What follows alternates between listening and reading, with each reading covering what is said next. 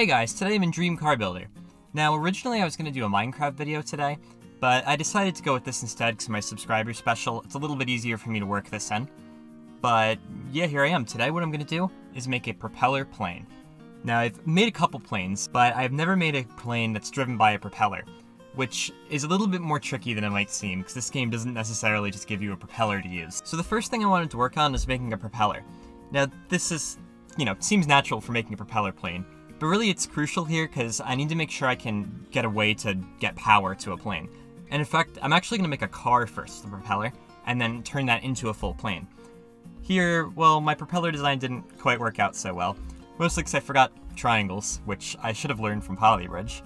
So after adding in some supports to the part that the propeller sits on and to the propeller itself, it still flops around, but it's at least holding itself up a bit better, so it gave me a framework to work off of. Here I added a bit more support to the propeller, so now there's a piece holding it back, and I added a cage underneath the car, so that eventually I can add a um, wheel system.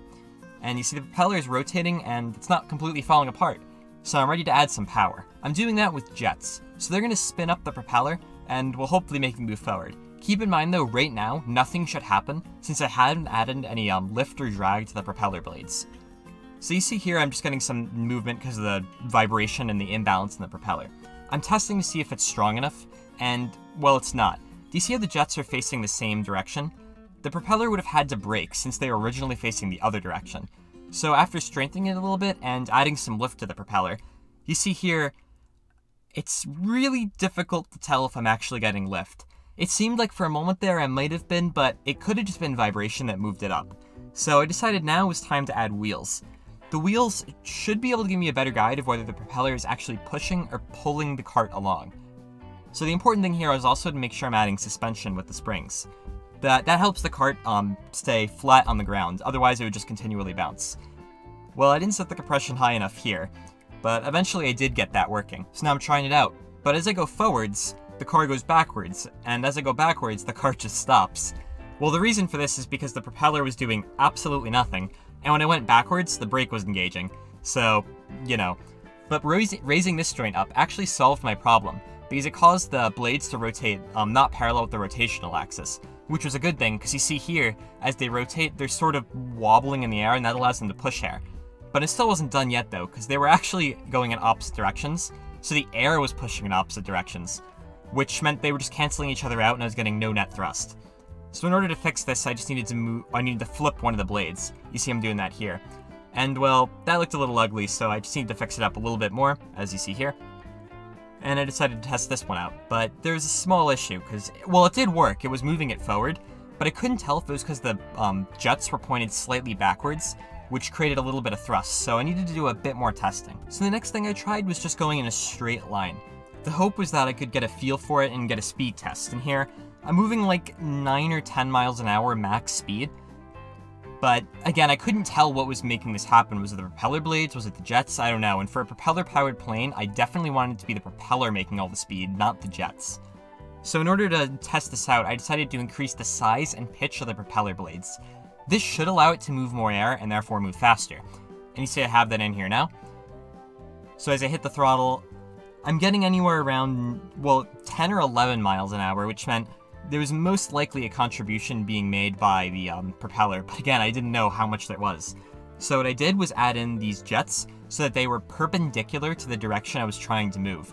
This would mean they have zero bearing on how fast they move, uh, how fast the car is moving um, forward or backwards. This would tell me how fast the propeller is actually able to push the car. So now I'm giving it a shot, and, well, originally I was pretty disheartened because the car wasn't moving forwards, but it was because I installed the jets backwards, so it was just going to move backwards and I'm getting like 5 miles an hour, which wasn't awesome, so I decided to go for bigger jets and see maybe if I spun it faster if it would perform better, and things went wrong.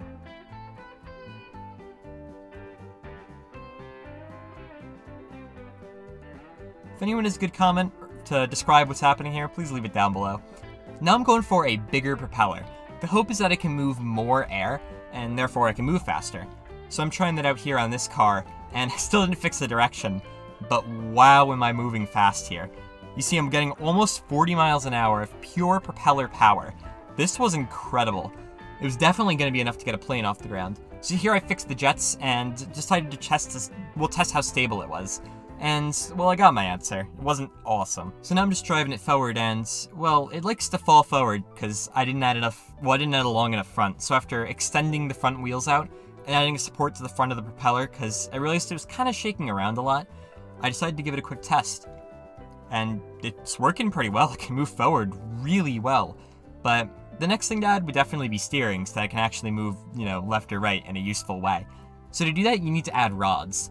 One will expand, and one is going to contract when I tell it to steer, and it's going to rotate the front axle in one direction or the other. So now I'm just adding all that in, and, well, I might have set it up a bit wrong. So, I didn't set the limits properly. I meant I meant to set a 10% expansion, not a 90% expansion. So after I fixed that here, I decided to give it a quick test on turning. But you'll see a problem arise that haunted me for a long time. The car really wanted to spin out. So that didn't work too well, but my solution was to add bigger wheels. This would give me more traction with the ground and it would prevent it from spinning out so much. It definitely still wanted to spin out, like it was kind of a fight, but it was at least working. You see here I'm following the roads, but it was still just a pain to drive. And uh, you see I'm pulsating the propeller quite a bit, the flames coming out of the back. And that's because if I just left it on full power, it would just completely destroy itself because it spins too fast. So there's definitely improvements to be made, but I didn't want to make a car, so I got it pretty much as done as I wanted it to. And now it was time to actually make the full um, plane. So I'm keeping the propeller assembly because that was the important part we just developed. And you have to keep the seat because that's where the guy sits. So here I'm creating the nose of the plane. And here I'm just doing one propeller. I may come back sometime make a massive, like, two or three propeller plane. I guess it would be two or four. Let me know if you want to see that. So now I'm just finishing up the front of the plane, and you see that's like the general idea of how it's going to connect. So now with the nose all done, I decided to go for a cockpit. This is actually the easiest thing to add, I just needed to be able to cover the guy in the seat. And you see I got that here. I ended up making a few changes later for just aesthetic reasons. But um, next up was the fuselage.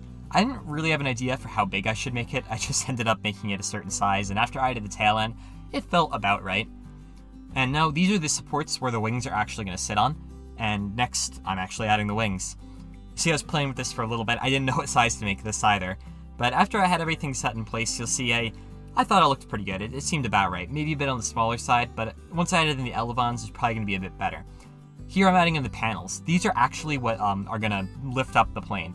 They're if I didn't have them, otherwise the wings would just be like they wouldn't have any drag, so it wouldn't be able to lift up the plane. See on the bottom, I actually have to drag the lift coefficient up, or else it just acts like there's literally nothing there. Here are the elevons I was talking about, and once I had these in, the sizing was about right.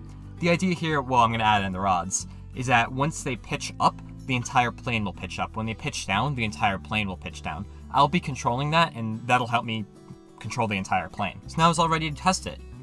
But then I realized I forgot something.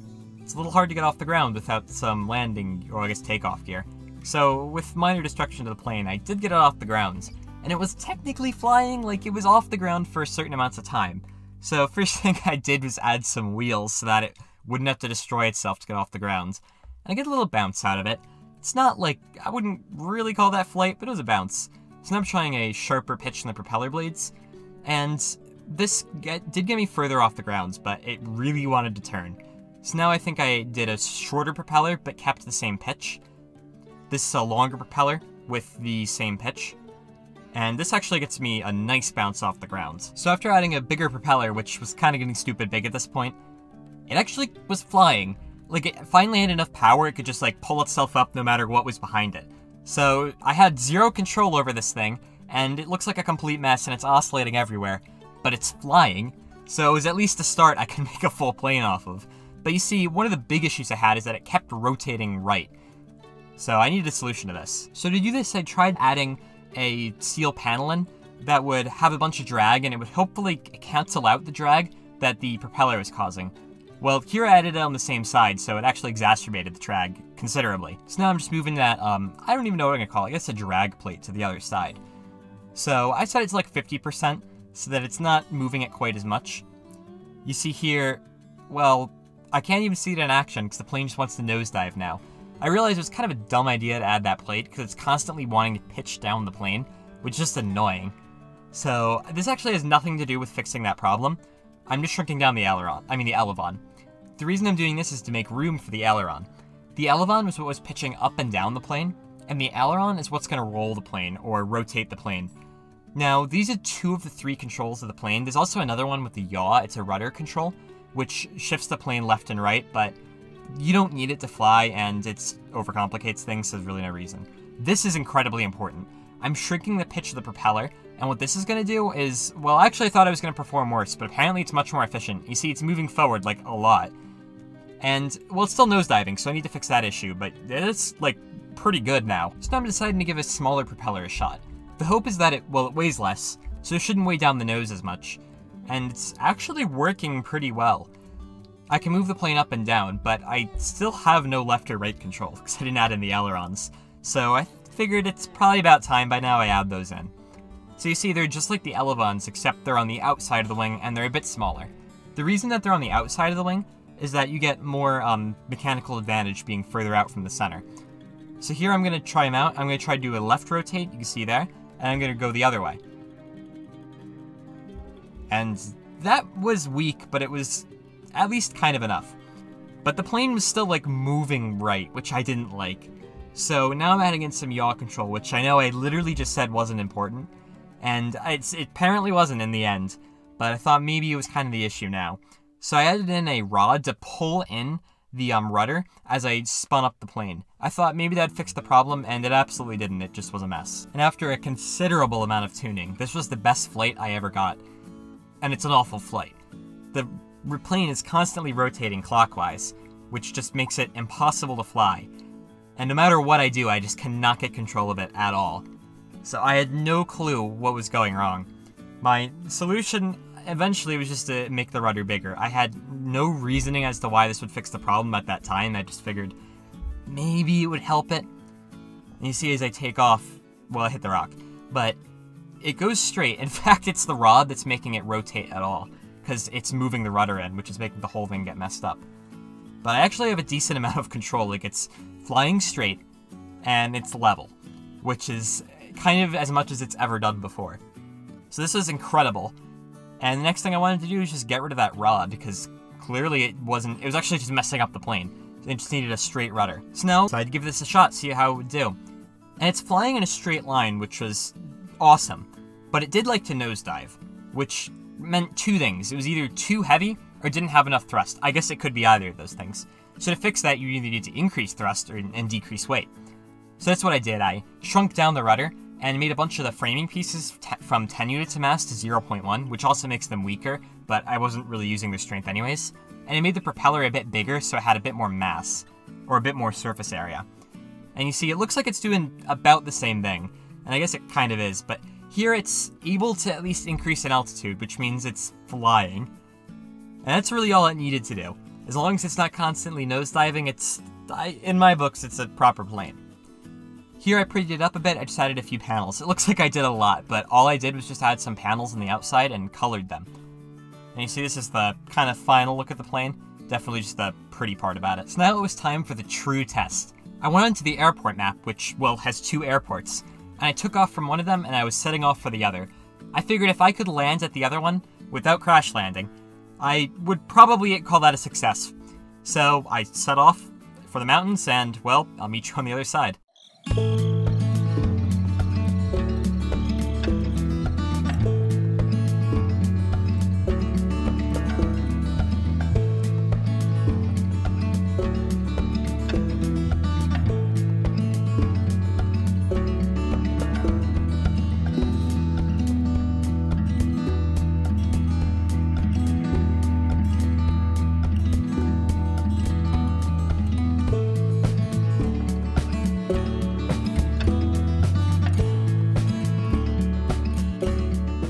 Here it was finally time for the landing. Now, this was kind of an issue, because it didn't really occur to me that the plane was incredibly difficult to fly at low speeds, because it just constantly wanted to spin out one direction or the other. So I ended up getting a really rough landing, but I did land on the runway. So I called that a success, and I thought, it's a done plane, it works, it flies well. And just to prove that the plane is actually being flown by the drag produced by the propellers, I removed their drag abilities completely, so that only the jets, well, so that the jets were the only things that were pushing air. And you see, it just doesn't move because the propellers aren't moving, the propeller isn't moving air backwards at all. So that there's no thrust being produced. So it is truly the propeller that is making the plane fly forward. Alright, thanks guys for watching. This was definitely a difficult video to make. Took a lot more time to edit than usual. The voiceover took a lot more time, well, it's mostly just because it's longer. But it was a difficult thing to record too. Everything was difficult, I guess.